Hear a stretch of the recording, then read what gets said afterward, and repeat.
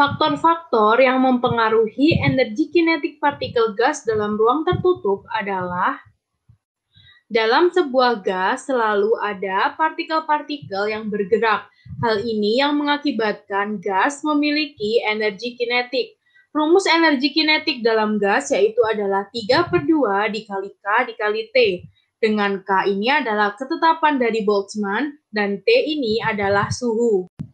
Sehingga dapat dilihat dari rumus bahwa Faktor yang mempengaruhi besar energi kinetik rata-rata partikel gas yaitu adalah suhunya. Jadi jawabannya yaitu adalah pada nomor 3 saja, yaitu pada pilihan yang E.